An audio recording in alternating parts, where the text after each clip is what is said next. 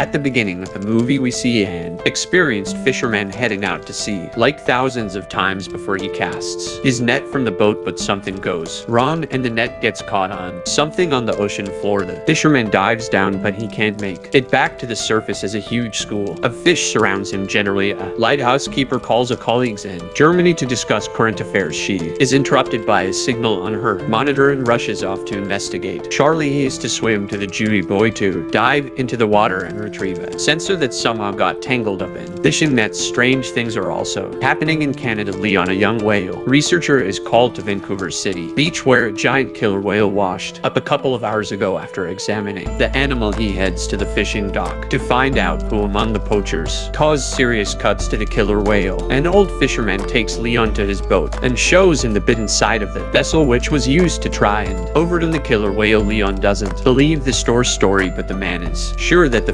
fisherman wouldn't lie to him that they had to destroy the whale to save themselves. Charlie and her new friend launch a repaired sensor into the ocean tasked with tracking marine animal population. They noticed methane ice fragments around the boat which often rise to the surface, but today there are too many of them. Leon finally hears the whales and learns that they have been seen in various locations along the coast before heading out to sea. He calls his girlfriend Lizzie, who has already taken tourists on her boat to see killer whales in the wild. A giant whale appears next to Leon's boat after freezing for a couple of minutes. The giant disappears underwater, but a whole pod of orcas takes its place. Liza takes the tourists onto the deck, and everyone watches. And as the whales appear, the humpback giant also appears next to the ship, and the tourists are able to see it up close. The strange behavior of the whale pleases everyone except Leon, who tries to warn his friend but is too late. The next trick of the whale hits the middle of the boat. Leon arrives at the scene of the accident and tries to save those who survived the hit but now bought. of is hunting for the tourists. Leon is unable to save Lizzie. The action shifts to a French restaurant after gathering fresh seafood at the market. The chef plans to prepare lobsters, but one of them shoots an unknown liquid into the man's face after wiping his face. The chef continues working, but by evening he and two other cooks begin to deal. The chef passes away that same evening and the two young cooks are taken to the Ica waiting for the test results to determine what happened at the same time a Norwegian ship in the sea lures the camera to study an unusual phenomenon an invasion of ice worms a few specimens are brought to the surface for study and the scientist finds a new peculiarity these creatures have jaws and reproduce several times faster a commission is formed and everyone agrees that they have discovered a new species of worms and bacteria Leon talks to the owner of a fishing boat who was also a witness to the humpback whales attacking other boats the day before. In addition, Leon has shown another anomaly. The bottom of the ship that returned from the sea is covered with a thick layer of mollusks, which has never been seen before. A group of scientists launches a sampler onto the seafloor to check the soil where worms were found, but due to a methane leak, an explosion occurs. The ship manages to survive,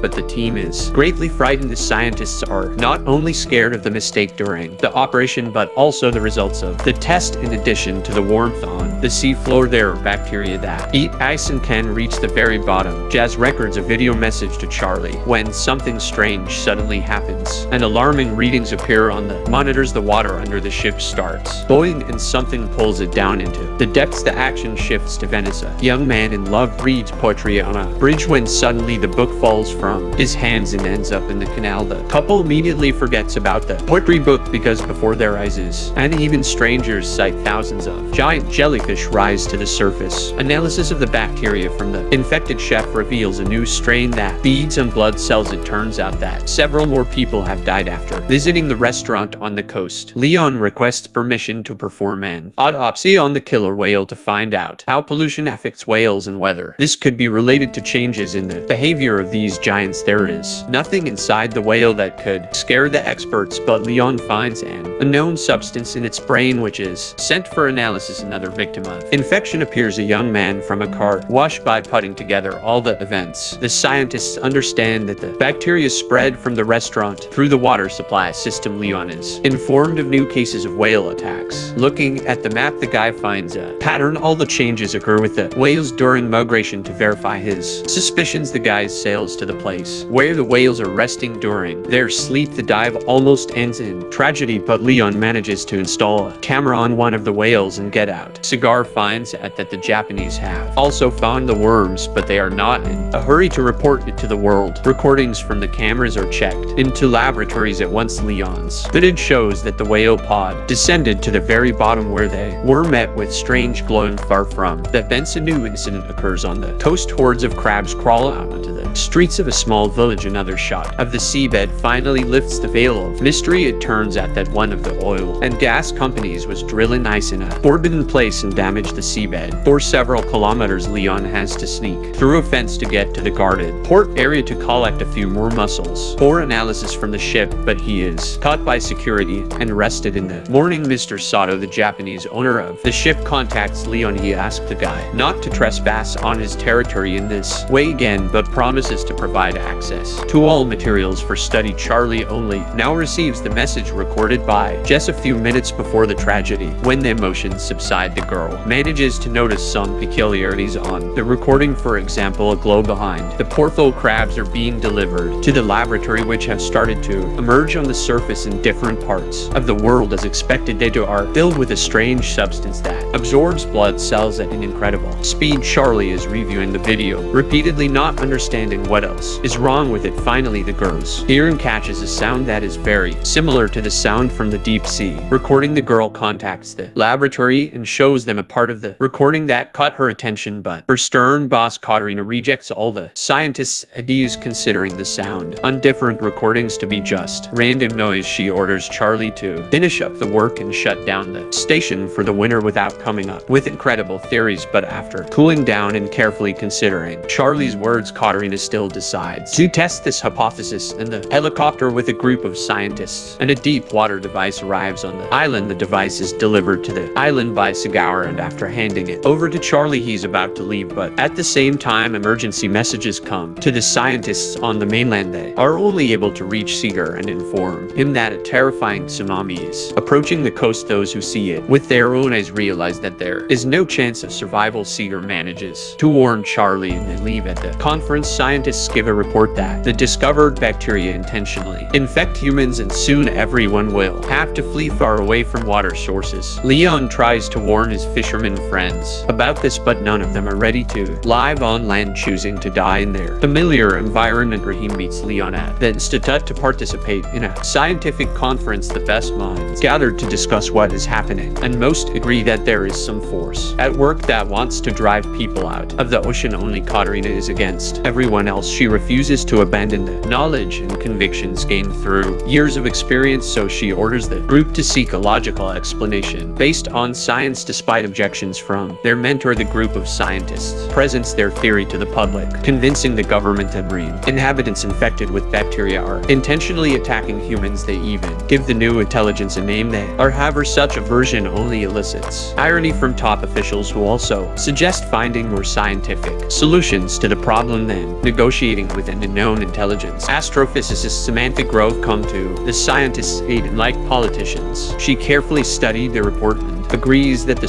strange sound on different recordings says all the characteristics of an unfamiliar world. Language in addition, her team managed to capture the exact same signal from Antarctica. Another influential person, Japanese Mifune also believes in Sigur's theory and agrees to finance his venture share hoping it will help to save the world. Sigur assembles the team and informs them of the start of the mission. He suggests everyone think carefully and assess the risks and those willing to go all the way will be waiting for an expedition to the Arctic. In 48 hours, the scientists go home to say goodbye to their loved ones and warn them of their departure. The relatives of many tried to persuade them to stay, but everyone understands that this is their last chance to fix something according to scientists' calculations. The largest accumulation of intelligent bacteria is located in one of the valleys in Antarctica where they could have lived for millions of years prior. The company is preparing to establish contact and everyone is playing their role while giving interviews to a young journalist. Finally, the equipment on this ship starts buzzing with interference and the scientists prepare to capture a signal from the mysterious organism Sarah. Mifune's assistant sits down next to Leon at the table and confesses to him that she would have never believed in their theory if it weren't for her boss, who has proven over many years that his intuition never fails. Samantha is devising a plan she intends to add a sound of a human child scream to the organism's audio signal and return the recording to the intelligence to show that they are ready to communicate. Charlie asks a call colleague to take her with him in the diving apparatus to the bottom. The ship drops anchor and the scientists begin transmitting the sound message. Meanwhile, the daring couple gets into the capsule and prepares to dive to the depth. The whole team is eagerly awaiting any reaction finally a movement appears on the radar and the sensors pick up a sound signal. The team from the capsule tries to contact the captain's bridge to report that their our fans are malfunctioning and they are running out of oxygen, but communication is not working. The chief pilot Luther is ready to return, but Charlie notices a movement and turns off the light, waiting to see what happens next on the ship. They also notice something. Approaching Sigur insists that the captain recalled the submarine, but they can't reach the crew group. Luther doesn't want to risk anymore and he lifts the boat on the ship. A hatch opens to receive the capsule into a special compartment. Charlie notices a strange glow appearing around them at that moment, but she doesn't tell anyone about it. Meanwhile, Samantha reports that they have managed to establish contact. The sound signal has returned and the child's cry has been altered as a sign that the bacteria understood the message. From humans, Drive Chase is looking for a way to cure those who have already been infected by the bacteria. Luther tells the journalist that he saw nothing at the depth and everything Charlie saw was probably a figment of her imagination, just like the whole idea of intelligence. Nevertheless, Samantha tries to decipher their messages to assemble them into a response signal that the intelligence will understand while staying in the compartment with the capsule. The journalist notices a glow in the pool. The lights on the ship go out and interference begins when everything is restored. The captain sees the journalist's body fallen on the monitor. Better Chase tries to save the girl and on her lips she notices a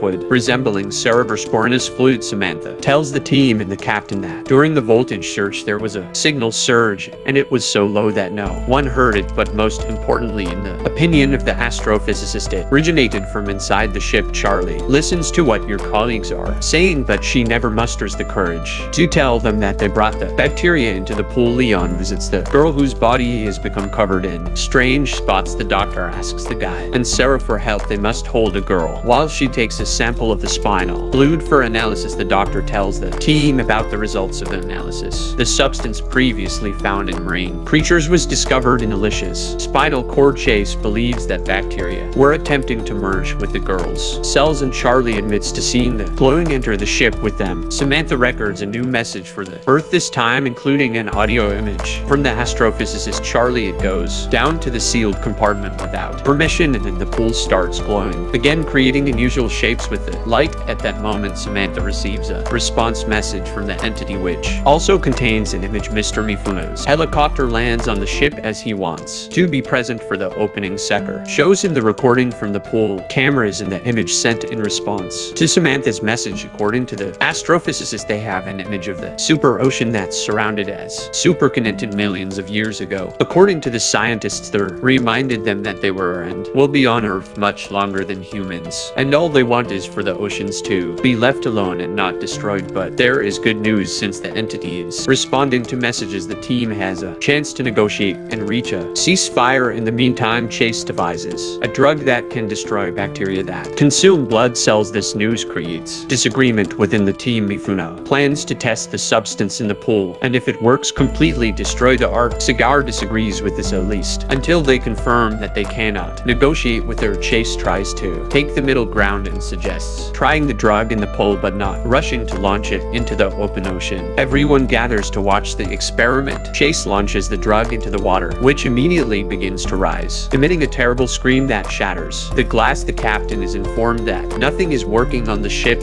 and they are simply drifting in the waters of Antarctica. But worse, the ship is surrounded by icebergs. The vessel collides with an iceberg, but unexpectedly, a blue glow takes it somewhere else. The captain orders the engines to be started to break free from the control of the Earth. He also doesn't understand why they don't pour all the drug they have on board into the water. But Sigur tries to explain to the captain that everything that happened now is the price for his thoughtless experiment and the pool of no one in the world will manufacture enough of the substance to destroy Earth worldwide. The only way out is to make a truce while the team is deciding how to negotiate with the Earth. The entity traps the ship between the icebergs. Charlie hurries to the capsule to descend and deliver Lover's body to her as a sign of complete obedience once. At depth, Charlie changes a plan. She injects Lucas' sights into her heart that can merge with her and opens the capsule door. The body falls under the control of her and the ice breaks release. The ship, while billions of lights envelop the girl underwater later. Charlie brings the ship to a deserted island. It opens its eyes and looks at the sky with glowing blue eyes. The series ends here. Please write in the comments what you think about this series.